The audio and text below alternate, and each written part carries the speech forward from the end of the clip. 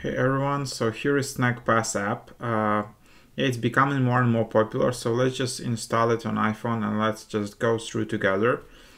So yeah, the same installation process as for other apps. So just confirm with your Face ID or Touch ID. And the idea is that you can just get all these discounts for snacks and for food.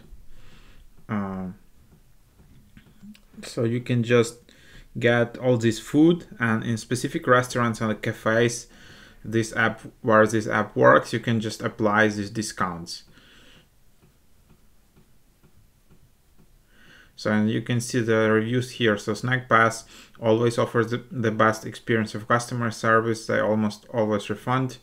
If there is any problem when i complain uh, so really good reviews 3k ratings so far 4.8 out of 5 average rating.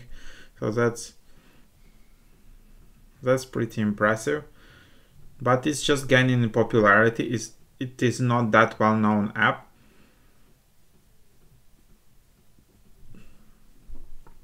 So let's try to uh, create an account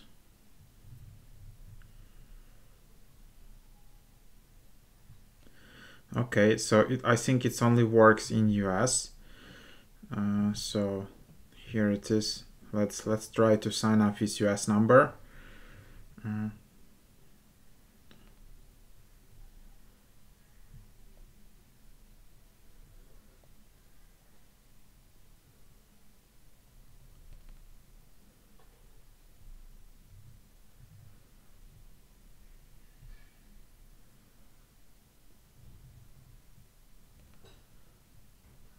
let's see if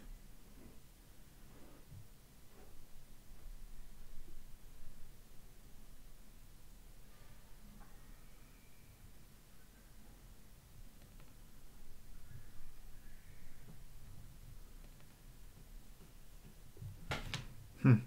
so unfortunately the number doesn't arrive um,